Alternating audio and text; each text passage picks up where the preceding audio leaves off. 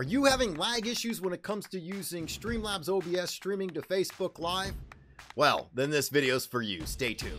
Hi, I'm Walt from Live Streaming Tech. In today's video, we're going to talk about lag issues, Streamlabs OBS, and streaming to Facebook Live. And I'm going to show you some possible tips and tricks when it comes to solving lag issues when it comes to using Streamlabs OBS to stream to Facebook Live. And I got five of them for you, so let's go ahead and jump right into it. Tip number one, and this is the most important, and nine times out of 10, I've seen this in the comments, and it has resolved the issue when it comes to lag when streaming to Facebook Live using Streamlabs OBS, and that is using Wi-Fi. That's right. Do not use Wi-Fi unless you absolutely positively have to. Here's the thing. You can have the best Wi-Fi setup. You can be sitting right next to your router slash modem and still have lag issues or terrible pixelation, whatever you want to call it plug directly in. That's right, take that ethernet cable, plug directly into your laptop or to your PC and plug directly into that router slash modem that you're using to resolve any lag issues. Nine times out of 10, this will solve that issue. Tip number two, and that is some of the settings here. So let's go ahead and jump over here to Streamlabs OBS. First thing we wanna do is we wanna go ahead and left click that sprocket down here in the lower left hand corner that says settings. The second tip is the encoder that you're using. That's right, I know you're sitting there thinking, Walt, how does this have to do with my lag issues?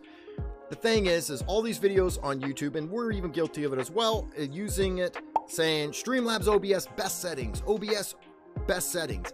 The thing is, is those settings are not a one size fits all. The settings that we say are the best are the ones to start out with. This is the baseline settings that you would want to use. So, for instance, if you have a uh, dedicated graphics card, what that means is it's not an onboard graphics card. It is separate. You have to plug your monitor into a separate card and you're not plugging in into the motherboard. And I'm looking at anything like 1060, maybe 1070 and above when it comes to NVIDIA graphics cards. And unfortunately, that is what it supports is the NVIDIA graphics cards is the NVENC. That is what my encoder is set to. Now, if you do not have a dedicated graphics card, you unfortunately are going to be stuck with the X264. What that does is that puts the workload now on your CPU. So if you have a dedicated graphics card and you are still set to X264, you're letting your CPU do the workload, go ahead and change that over to NVENC.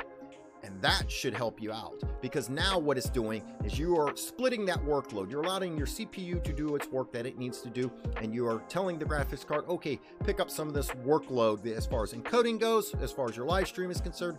A lot of times that will reduce that bottleneck and allow you to stream without lag. The third tip, and that is bit rate. As you see, it automatically put me down to 2,500, which is very slow. And luckily for me, I can go up to 6,000 kilobits per second. And unfortunately, that is the max that Facebook is allowing us to go to as of right now, the recording of this video, but I recommend starting out at 4,000 kilobits per second. Now, to see that if your internet provider allows you to stream this amount, you want to do a speed test. Open your browser up and do a internet speed test. And what you're going to focus on is the upload speed. So it doesn't matter what your download is, it's all about the upload when it comes to live streaming. So say I went ahead and I did a speed test and it shows that I only have four megabits per second. That is 4,000 kilobits per second. That is what our bit rate is set to. I would actually want to then set it just below that. I want a little bit of wiggle room when it comes to that. But I can handle definitely 6,000. So I have well above 6 megabits per second. I'm usually around like 10, 12, so on forth as far as when my upload speed is concerned. That's the other thing. Test it out at different times or actually test it out right before your stream several times to make sure that it's going to be able to handle that speed. The fourth tip, once again, it is under settings and it is going to be the video. Yes, that's right. So you have to remember this just because you leveled up, say, live streaming on Facebook, and you are now allowed to stream at 1080p, doesn't necessarily mean you should.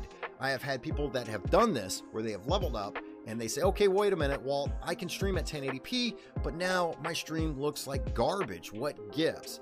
Well, here's the thing just because you can doesn't mean you should. It is also, once again, it's not a one size fits all. It depends on your content, it depends on how much you are doing during the live stream. And I like to sit there and set my base canvas resolution. That is what I see. That is on my monitor, that the 1080. Because here's the thing, I don't want to look at 720. Even though my viewers have to look at it, I don't want to look at it and then make sure your output scaled resolution. That is what is actually going up. That is what is going to the Facebook Live servers. That is what your viewers are going to see, that 720. Go ahead and try to drop that down and see if that solves the problem when it comes to lag or say pixelation when it comes to using Streamlabs OBS for Facebook Live. My final tip is this, and that is your sources. How many sources are you running per scene? The more sources you're running, the more your CPU is going to have to work.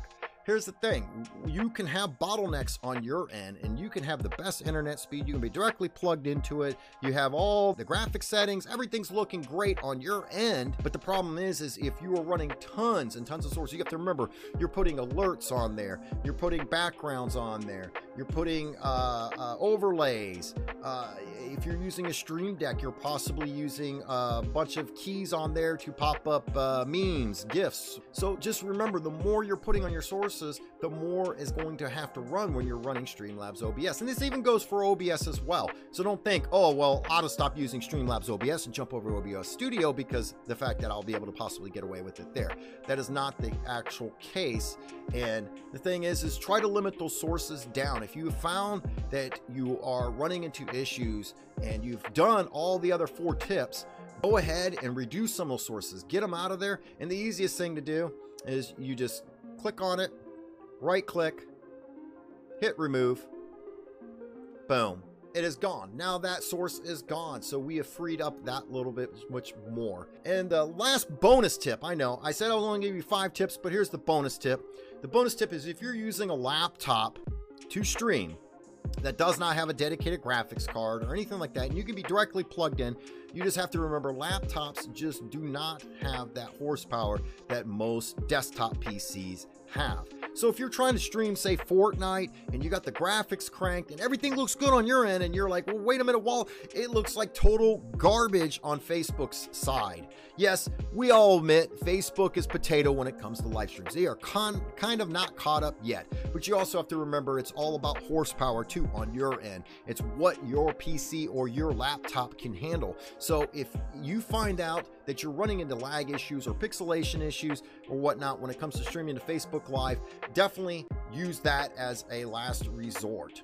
But you know what's not a last resort? Is watching this video here where we talk about a little bit more about Facebook Live. Definitely give it a look, drop your comments below, or check this video out here that YouTube recommends. And don't forget to hit that like button or share this video. Until then, I'll see you soon.